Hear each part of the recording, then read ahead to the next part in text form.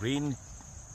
पिट viper bamboo pit viper ये एक ऐसा सांप है दोस्तों जो एर्बोरियल है वाइपर प्रजाति का ये सांप है और पेड़ों पर ही रहना पसंद करता है इसकी शानदार बनावट इसे मदद करती है पेड़ों में छुप कर रहने में साथ ही साथ ज़बरदस्त तरीके से ये मूवमेंट अपना करता है पेड़ों के ऊपर आप देख रहे हैं कि किस प्रकार इसकी बॉडी जो है वो छदमावरित हो जाती है कैमोफ्लास्ड हो जाती है एक वृक्ष के साथ उसकी पत्तियों के साथ और इसका शिकार इसे नहीं ढूंढ पाता है शिकार में शामिल गार्डन लिजर्ड्स और कॉमन लिजर्ड्स हाउस गेकोज होती हैं जो इसके पसंदीदा आहारों में से है हाईली वेनमस ये होते हैं लेकिन डेथ टोल रिकॉर्डेड नहीं है